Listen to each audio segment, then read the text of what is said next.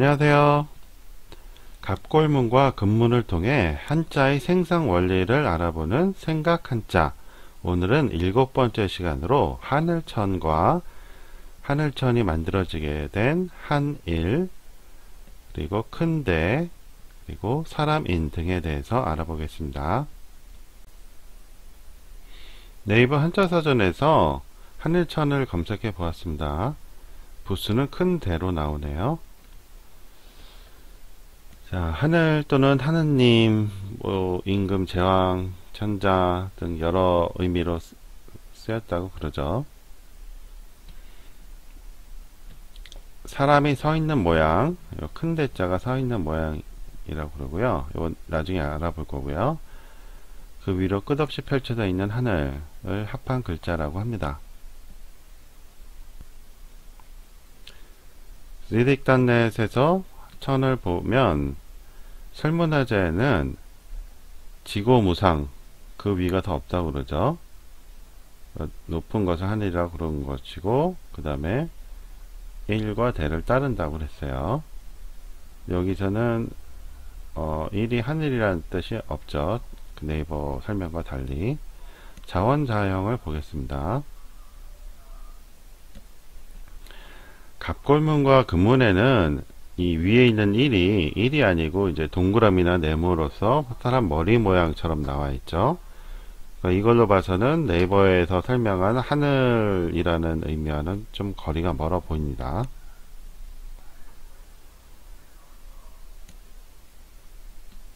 Chinese Etymology 사이트에서 봐도 그 근문에 천이 거의 뭐 사람 모양으로 나와 있죠. 이것만 봐선 하늘이라고 이해하기가 상당히 어렵습니다. 갑골문에서도 마찬가지네요. 큰 차이가 없죠. 갑골문에서 요렇다가 점점 이렇게 하늘로 이제 변해 가는 것을 알수 있죠.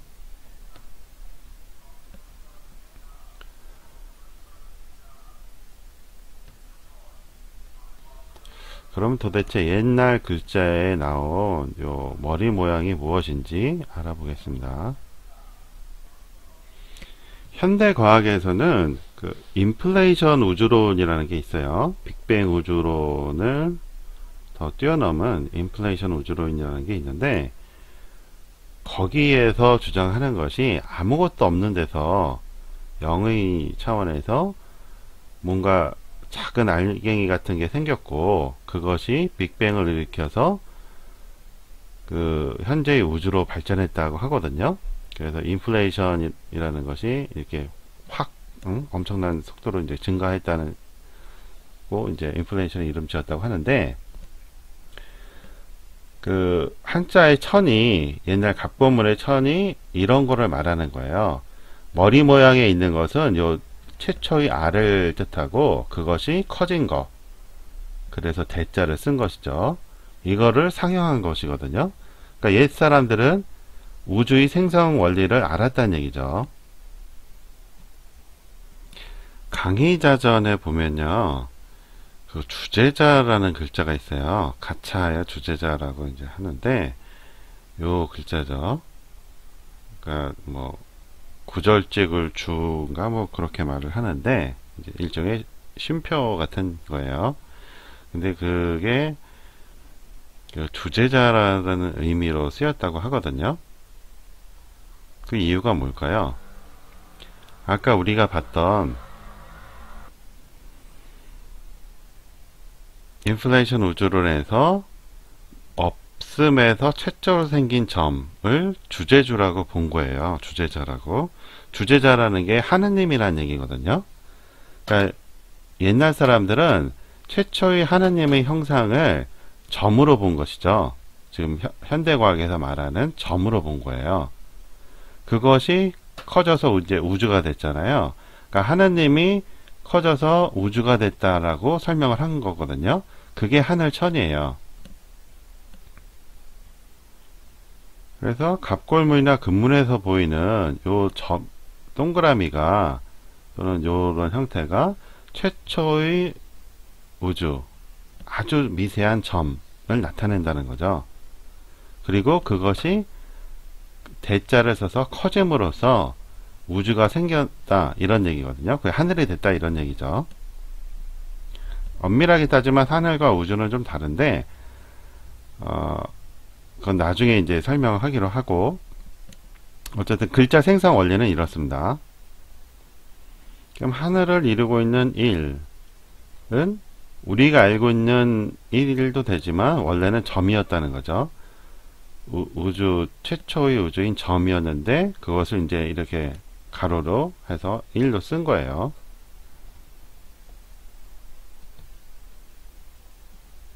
한 손가락 옆으로 펴거나 나무젓가락 하나를 옆으로 뉘어 놓은 모양을 나타내요. 요거는 뭐 나중에 것 같고 그 옛날 그 어원에 따지면 그렇지 않다는 거죠. 시딕단넷의 설문해자를 봐도 이를 유초텟이라고 그랬잖아요. 맨 처음이라고 했어요. 그러니까 그 인플레이션 우주에서 말하는 최초의 미세한 점 그리고 그것을 주제주라고도 불렀고 그것을 이렇게 일로도 표현했다는 거죠. 그러니까 점이 이렇게 옆으로 이제 그어서 일로 변화된 거라고 보시면 됩니다.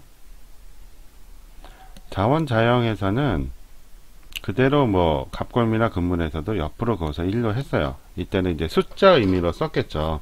점 그 하나님의 의미보다는 하나님이라는 것도 한 알림이라는 거에서 이제 변한 거거든요. 우리말에 있는 하나님이라는 것이 한 더하기 알이었어요, 원래. 그러니까 알, 알이 아까 우리가 했던 점이잖아요. 그렇죠? 점이란 말이에요. 그 점이 점에 이제 한이라는 게 이제 붙은 거고 한은 이제 하나라는 뜻도 있고 크다라는 뜻도 있잖아요. 그러니까 한자의 천과 아주 비슷한 거죠.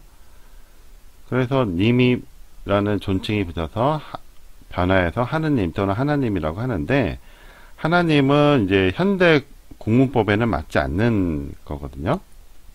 하나는 이제 수사이기 때문에 하나의 사과, 뭐 하나의 차, 뭐 이런 자동차, 뭐 이런 식으로 그 수식할 때 쓰는 것이지 님을 붙일 수 있는 건 아닌데 기독교가 들어와서 하나님이란 용어를 가져가기 전에도 어, 무속인들이라든지 그 전통적으로 이런 하나님이라고 썼더라고요. 기록에 있어요.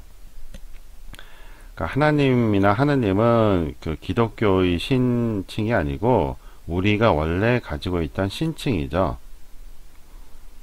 그래서 여기 이제 최초의 R 빅뱅 전에 그 최초의 R로서 신이고 이것이 대 커졌다는 거죠. 그래서 이것이 또 변해서 하, 이 님이 없을 때는 님이 없을 때는 하늘이 대로 변하잖아요. 하늘이 그래서 한자에서 나오는 하, 하늘천과 아주 같은 사고방식을 가지고 있다는 걸 알 수 있어요. 이번에는 큰 대자에 대해서 알아볼게요. 큰대 부수가 똑같고요. 자, 사, 서 있는 사람이 정면을 바라본 모양이라고 합니다. 원래는 사람을만 나타냈는데 나중에 크다라는 뜻으로 쓰였다고 그래요. 대자를 설문해자에서 찾아보니까 천대, 지대, 인역대, 고, 고로 큰 것은 사람의 형상이다. 이렇게 이제 써놨거든요. 근데 이 말이 어디에 나오면 도덕경에 나와요. 여기 보시면 설문해자 주에는 나오죠, 이게. 노자왈, 도대, 도가 크다. 그리고 천대, 하늘도 크고, 땅도 크고, 사람도 역시 크다. 라고 이제 하고 있죠. 설문해자 이걸 따랐고요. 자원자형을 보죠.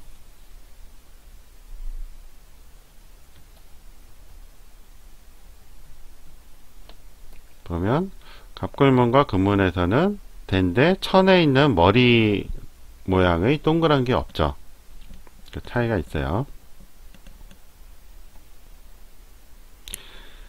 큰 데가 정면으로 선 사람이라고 했는데 사람이는 어떻게 옛날에 했을까요? 자, 설문해자를 보시죠.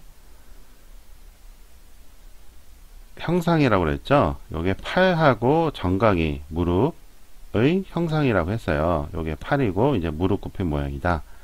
그 형상이라고 했거든요. 그러니까 옛날에는 사람인을 옆으로 선 모양으로 했단 말이에요. 그리고 앞으로 선 모양은 큰 대로 이제 사용을 했죠. Chinese etymology에서 봐도 옆으로 선 모양이 주로 이루어져 있어요. 그렇죠? 그러면 왜 이렇게 됐을까요? 전에도 설명을 드린 것 같은데 임금이 있고 신하들이 그 옆으로 이렇게 서 있잖아요. 그 신하들이 옆으로 서 있는 모양이에요. 조회할 때. 그리고 큰 데는 이렇게 양팔을 벌리고 서 있는 모양이죠. 우리가 뭔가 포용하는 모양이란 말이에요. 양팔을 벌리고 모든 걸 다 받아주는 그래서 크다라는 의미가 된 거예요. 동의할 때 이라는 글자가 를 보면 여기 역시 큰 데가 있죠. 저게 이제 활 모양의 궁을 썼는데 동방진이다. 그러니까 중국의 이제 서안 쪽에서 봤을 때 동쪽, 그러니까 지금 산동반도 쪽 사람들을 동이라고 했어요. 우리 조상님들이 이제 한반도에 사는 거는 나중 일이고 원래는 이제 그 산동반도 쪽에 이제 살았다고 하거든요. 그러다가 이제 이주를 해온 거고. 그래서 큰, 큰 거와 궁을 따른다라고 설문해제도 그렇게 돼 있거든요. 그래서 뭐 큰 화를 써서 동이라고 한다는데 고고학적으로 보면 큰 화라고 별 관계가 없다 그래요. 그러니까 이거는 이제 나중에 변한 것이고 Chinese etymology에서 근문과 갑골문을 보면 근문에는 이제 현재 거하고 큰 차이가 없는데 갑골문에서 차이가 있어요. 갑골문에 보면 큰 데가 나오죠. 그리고 사람인이 나와요. 그쵸? 다 그래요. 이거는 큰 데가 있고 사람이 지금 양쪽으로 있죠. 그러니까 이게 옛날에 이자는 뭐였어요? 아주 큰 사람이 포용심이 큰 사람이 그 이때 사람은 이제 신하 작은 소인이겠죠. 그런 사람들을 감싸는 모양이라면 포용해 주는 모양이에요. 그래서 설문회자에 이가 평이라는 말이 있거든요. 공, 이게 공평하다는 얘기예요. 이게 왜 생겼느냐? 큰 사람이 작은 사람들을 서로 다투지 않게 감싸주니까 아까 양쪽으로도 있었잖아요. 그 사람들이 이제 다중에 감싸주니까 공평하다는 뜻이 생긴 거예요. 그래서 군, 그 설문회자 주에 보면 동의는 큰 것을 따른다 라고 돼 있고 큰 것은 사람이다 라고 돼 있죠. 그리고 동의의 풍속은 어즈입니다. 인이다. 이 인이 누가 강조하던 거야? 공자가 강조하던 거잖아요. 공자도 이제 동방이라고 하죠. 동이라고 하죠. 그래서 인자는 어진 사람은 수 오래 산다고 했어요. 그래서 유 군자 불사 지국 군자가 죽지 않은 나라가 있다. 예, 군자국이잖아요. 그렇죠? 그래서 옛날에 이는 아주 좋은 뜻이었는데 한나라 이후에 에, 국력이 이제 쇠퇴하고 서로 전쟁하고 그러면서 그쪽에서 이제 동의를 비하하기 시작했어요. 그래서 이제 오랑캐라는 뜻으로 변질되는데 그 전에는 수천 년 동안은 존경의 대상이었단 말이에요. 네, 이렇게 해서 하늘천을 기본으로 해서 하늘천을 이루고 있는 1.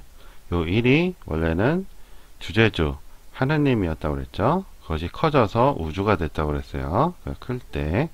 그리고 사람인. 둘 다 사람이었는데 이거는 양팔을 벌리고 있어서 사람을 포용하는 모양이라고 했고 그리고 이거는 옆에 옆으로 서 있는 모양이라고 그랬죠. 그리고 이 이라는 것은 대와 인의 합성이었다고 그랬어요. 원래 그러다가 모양이 나중에 이렇게 바뀌었다고 그랬죠. 자 오늘 수업은 여기까지 하고요. 도움이 되셨으면 구독을 눌러주세요. 다음 시간에 다른 한자로 찾아뵙겠습니다. 안녕히 계세요.